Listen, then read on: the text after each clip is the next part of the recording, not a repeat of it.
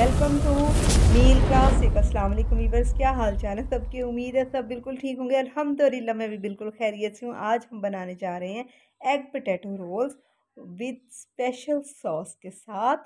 यहाँ पे मैंने तीन पोटैटोज़ लिए हैं, यानी तीन आलू लिए हैं, दरमियाने साइज़ के, उनको मैश कर लिया है और एक आलू और दो अंडे मैंने एक साइड पे रख दिए हैं। तीन आलू मैंने मैश कर लिए हैं और जो एक रखा था ना आलू एक साइड पे, उसको मैंने ग्रेट कर लिया था। ग्रेटर से। जी, बहुत मज़े की रेसिपी है टेस्टफुल रेसिपी आपने ज़रूर ट्राई करनी है और यहाँ पे जो दो अंडे पड़े थे, उनको भी मैंने ग्रेटर से ग्रेट कर लिया था।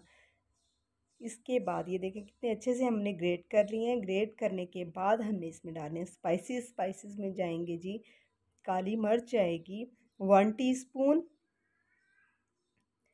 और थोड़ा सा हमने फ्यू ड्रॉप्स चिली सॉस के और फ्यू ड्रॉप्स हमने सोया सॉस के डालने हैं, ठीक है? आप हाफ़ हाफ़ टी स्पून लगा लें कि हाफ़ टी स्पून हमने chilli sauce half teaspoon soya sauce और यहाँ पे पेपरिका पाउडर है हाफ़ टी स्पून और लहसुन पाउडर है हाफ़ टी स्पून और oregano leaves half teaspoon beat किया हुआ आधा अंडा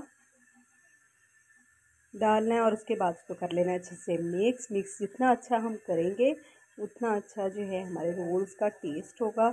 इसलिए जितना हो सके आप अच्छे से मिक्स करें और मुझसे तो हाथों से बहुत अच्छा मिक्स होता है तो इसलिए मैंने हाथों से ही कर लिया, ठीक है? और ये हाथों से अच्छा मिक्स होता है। यहाँ पे मैं नमक ऐड करूँगी, नमक ऐड करूँगी एज़ टू टेस्ट आप भी अपने टेस्ट के मुताबिक ऐड कर सकते हैं और नमक ऐड करने के बाद फिर हम इसको अच्छे से मिक्स करेंगे। बस ये मिक्स करने पे मेहनत होती है। उसके बाद तो सीधा सीधा बस शेप दे के और अंडे में डिप करके क्रम्स लगा के फ्राई। वेरी इजी और ये भी इंस्टेंट रेसिपी है। आप अपने बच्चों को लंच बॉक्स में बच्चों को दे सकते हैं।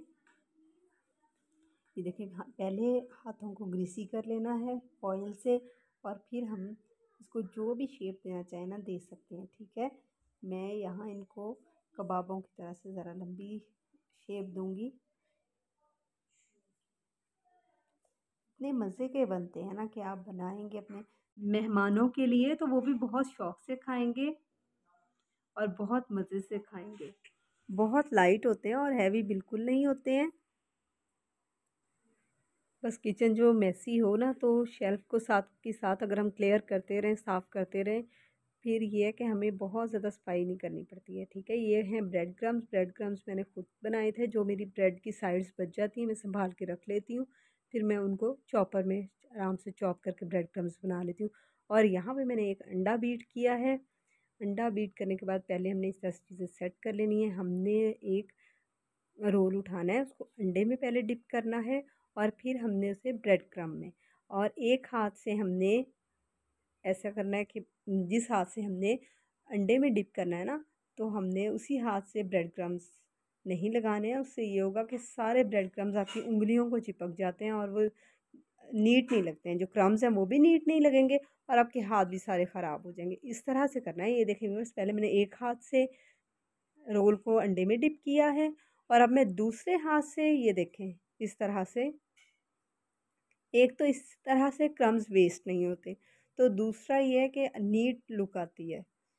अगर अब हम अंडे वाले हाथों से क्रम्स लगाए जाएँगे ना तो वो भी जो है ना, सारा क्रम्स हाथों को चिपक जाता है और नीट भी नहीं लगते। यहाँ पे पैन में मैंने ऑयल डाला है ऑयल को कर लिया है गरम और फ्लेम जो है मेरी मीडियम है। मीडियम फ्लेम पे ही मैं फ्राई करूँगी। क्योंकि उससे ये होगा कि लाइट गोल्डन सा कलर आएगा और वो बड़ा अच्छा सा होगा और उससे क्रिस्पी भी थोड़े से बन जाएँगे। जो लेयर है ना इनकी बाहर की वो क्रिस्पी सी होगी। उनको बड़े एहतियात से अपनी साइड चेंज करनी है, टूटे नहीं ये। वीवर्स देखें, माशाल्लाह माशाल्लाह, कितना अच्छा कलर आया और बहुत अच्छे से फ्राई हो गए हैं। आप भी ऐसी रेसिपीज़ ट्राई करते रहा करें। अब हम बनाएँगे सॉस इनके साथ। सॉस बनाने के लिए मैंने वन टेबल स्पून ऑयल लिया है गार्लिक पाउडर लिया half teaspoon thymes leave लिए हैं मैंने हाफ़ टी स्पून और इसमें पेपरिका पाउडर डाला है अच्छे से इनको फ्राई करना जब खुशबू आने लगे तब हमने इसमें half teaspoon chilli sauce half teaspoon soya sauce डाल के करना है अच्छे से mix. Two tablespoon mayonnaise के डाले हैं और फ्लेम कर दिए बंद और फिर हमने इसको अच्छे से मिक्स करना है। जब सॉसेस मिक्स हो जाए अच्छे से मायोनीज में, फिर हमने इसे बाउल में निकाल लेना है और बहुत मज़े की सॉस बनती है, बहुत डिफरेंट है और इनके साथ तो बहुत ही पोटैटो रोल्स मज़े के लगते हैं। वीवर्स अगर आपको मेरी रेसिपी अच्छी लगी है तो मेरे चैनल को सब्सक्राइब करें, बेल आइकन प्रेस करें, लाइक और कमेंट करें, रेसिपी ट्राई करें और अपना रखें बहुत सा ख्याल। Thanks for watching. Meal classic. अल्लाह हाफिज़।